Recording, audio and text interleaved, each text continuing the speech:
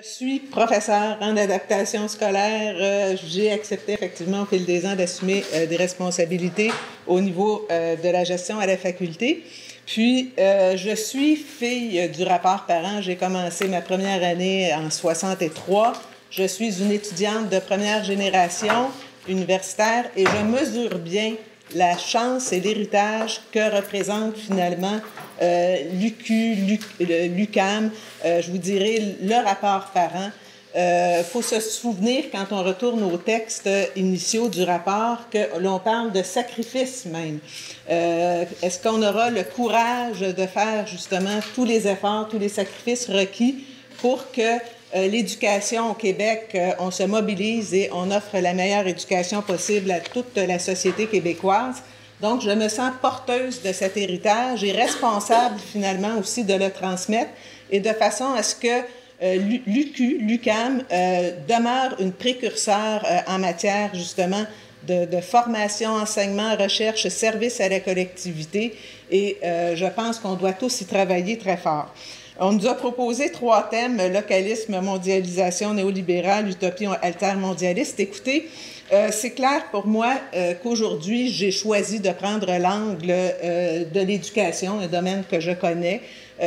puis, d'ailleurs, la formation des maîtres étant vraiment euh, une des missions premières de l'UQ. Je pense que c'est un angle tout à fait à ce moment-là euh, pertinent pour moi. Donc, actuellement, euh, c'est clair qu'on voit qu'à la grandeur du territoire québécois, il y a de l'expertise, il y a des besoins. Puis, on est dans le cadre du, du congrès de l'ACFAS. je pense qu'il y a aussi, par rapport à justement cet enjeu de la francophonie, des besoins importants qui sont au Québec, mais qui sont aussi au niveau euh, du reste de, je vous dirais, du, Canada au niveau des, milieux euh, francophones minoritaires. Et ce qu'on voit, c'est que l'expertise qui a été développée, notamment au niveau de l'UQ, actuellement sert euh, justement à la francophonie au niveau des trois volets de la tâche. Euh, il me semble en tout cas que euh, on a vu les gains à travailler en réseau. Je l'ai vu moi avec le doctorat réseau en éducation dont Michel Allard nous a parlé plus tôt aujourd'hui. C'est clair que même à l'UCAM ou dans une faculté d'éducation comme la nôtre avec à peu près 115 profs, il y a des domaines qu'on n'arrive pas à couvrir ou à couvrir, euh, en tout cas, je vous dirais des fois de façon optimale. Puis le fait de travailler en réseau nous permet justement, je pense, euh, d'arriver à euh, coaliser l'expertise de façon justement à mieux en faire profiter euh, la société dans une perspective, je vous dirais, socialement responsable.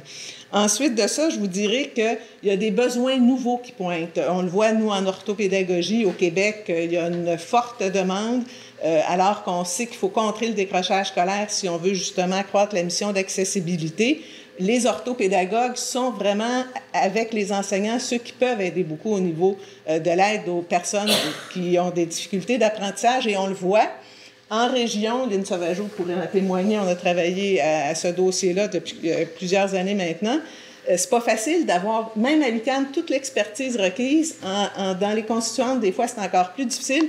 On a un défi voire une responsabilité de voir comment coaliser notre expertise et répondre aux besoins euh, à la grandeur du territoire québécois.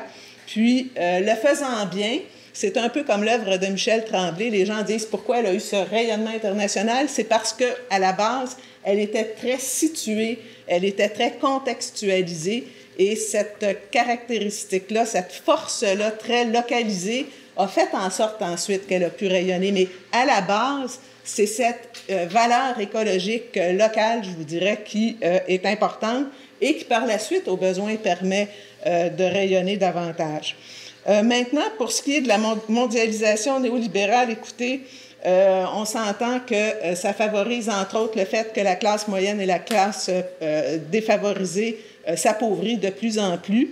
Puis, étant donné justement la contribution, le, le, potentiel des universités à enrichir, là je ne parle pas juste d'aspect financier, mais à enrichir les personnes au niveau de leur développement plein et entier, puis au niveau du développement de la société. Je crois que l'université a un rôle important à jouer et l'UQ, de par sa mission justement, euh, de contribuer à davantage, euh, je vous dirais, euh, d'éducation. Hein, L'éducation, on sait que c'est la clé pour justement mieux s'accomplir et s'enrichir à différents niveaux.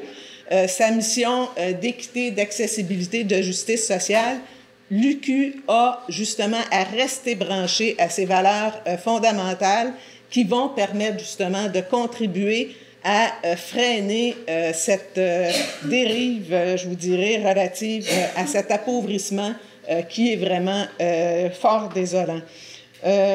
J'essaie de contrôler le temps. ça, c'est beau, Louis, OK. L'utopie altermondialiste. Écoutez, c'est entendu là aussi que ce qu'on peut souhaiter pour la, planète entière, c'est vraiment le bien-être, la, vie euh, des individus et de la planète. On avait, un prof quand je passais en psychoéducation qui nous disait faut avoir un idéal, même si on sait qu'on ne l'atteindra pas, ça nous guide, ça nous tire vers euh, finalement le meilleur. Donc ça, assurément qu'il euh, y a là des valeurs, je pense, qui euh, sont partagées euh, en bonne partie par l'UCAM. Maintenant, il faut voir les pistes de solutions qui sont apportées parfois dans ces courants.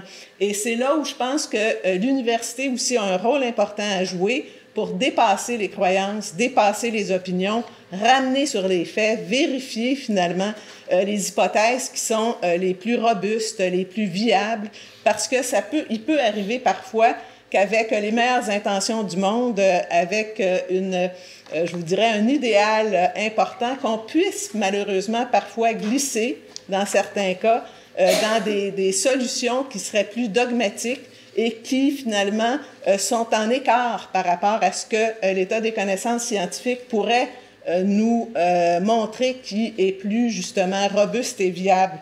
Donc, je pense que en tant qu'UQ, euh, à ce niveau-là, on a un grand travail à faire pour, dans tous les cas, vraiment viser euh, la plus haute qualité possible au niveau de la formation, de la recherche, des services à la collectivité.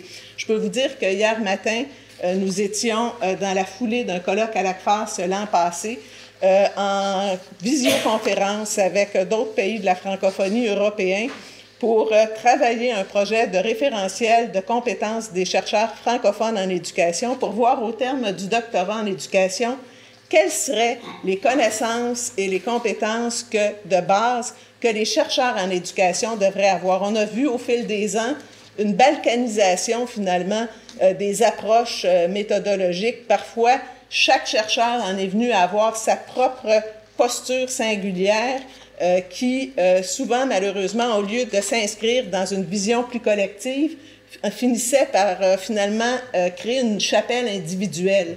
Et ces chapelles individuelles-là sont vraisemblablement pas les plus heureuses pour arriver à travailler de façon collaborative et je vous dirais un défi encore plus grand de façon concertée. Euh, on a cette responsabilité, euh, toujours en, en, étant ouvert au débat, toujours en étant ouvert finalement à des points de vue divergents, d'être capable quand même euh, collectivement, à certains moments, dans certains dossiers, de pouvoir s'entendre sur finalement une, des, des, moyens, que ce soit au niveau de nos moyens pédagogiques, de nos moyens de formation, de, de certains projets, de demeurer critique, mais en même temps de pouvoir tenter de dégager finalement qu'est-ce qui euh, s'avère justement euh, le plus robuste. Euh, on, a en éducation, par exemple, ces dernières années, travaillé à l'idée de la création d'un institut national en éducation qui fédérerait les chercheurs, non pas seulement de l'UQ, mais de l'ensemble des chercheurs du Québec en éducation, pour assurer finalement euh, cette idée de regrouper de façon thématique euh, les chercheurs de façon à rassembler finalement l'état des connaissances produites ici, produites ailleurs, ramasser aussi les pratiques qui euh, finalement peuvent être aidantes, rassembler les ressources aussi parce que souvent comme professeur, on a un point de vue singulier on prend nos retraites, on meurt, et que reste-t-il de nos travaux? Euh, des livres pour certains, pour certains euh, autres, euh, la, nature finalement de leur contribution fait en sorte qu'elle peut être finalement évanescente.